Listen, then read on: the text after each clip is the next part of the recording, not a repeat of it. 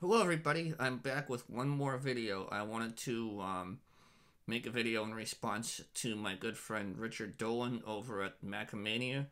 He is doing a uh, contest where you pick your five singers, top five singer-songwriters, and um, I have a list ready to go. And uh, before I read the list, I wanted to say that uh, Richard has become a great friend of mine since um, I started making videos and becoming more involved in the vinyl community and um, taking part in his um, live streams. And um, it's been a pleasure getting to know Richard and um, what kind of music he likes to listen to.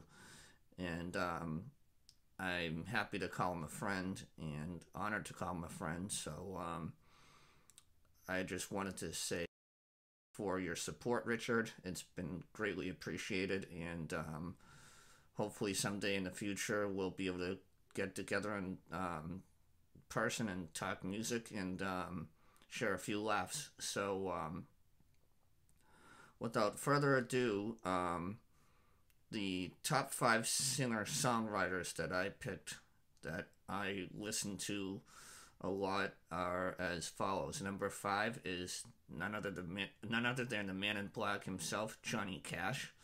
Um, he was one of the first artists that I really started listening to um, when I started listening to music many years ago as a kid.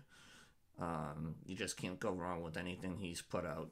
Um, number four is Tom Petty.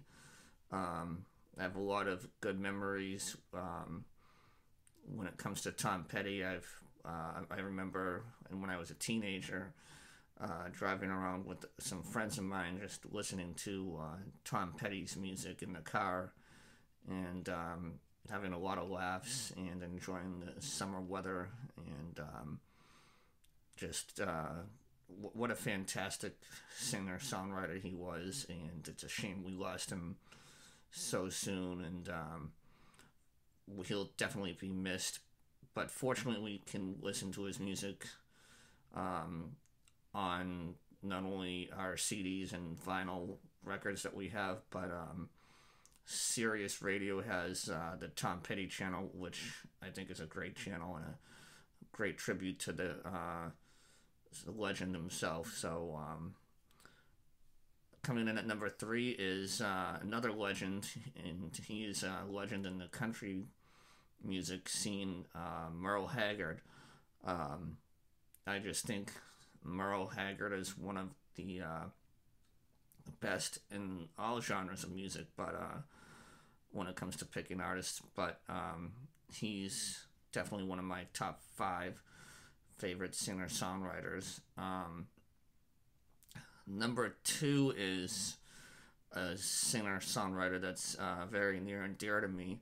Um, he was one of the influences on myself uh, when I started taking blues and boogie woogie piano lessons, and uh, it's none other than uh, Henry Roeland Roy Byrd, um, otherwise known as Professor Longhair. Um, Professor Longhair is known for songs such as Tipitina, Big Chief, uh, to name a couple, and um, he is just a phenomenal piano player and a, a good singer as well. So um, he comes in at number two. Number one is an artist that I'm really digging um, over the last couple of years. She is the sister of Eden Brent, who was another singer songwriter uh, slash piano player, and this is Bronwynne Brent. Um, Bronwynne Brent plays um, mainly acoustic guitar but uh, she comes from a family of uh, very talented musicians, and um, her newest album is called um, Undercover, which came out in 2020. She um, has a fantastic voice. Think Joni Mitchell, um, and I, I can hear a little Billie Holiday in her voice as well. So uh, check out um, Undercover by um, Bronwynne Brent if you want to listen to some modern day singer songwriters. So, Richard, those are my top five singer songwriters. Once again, it's Johnny Cash, Tom Petty, Merle Haggard, Professor Longhair, and Bronwyn Brent. So, thank you again, Richard, for all your support and your friendship. And um, I hope you enjoy the video. Thank you so much, and have a great day, everybody.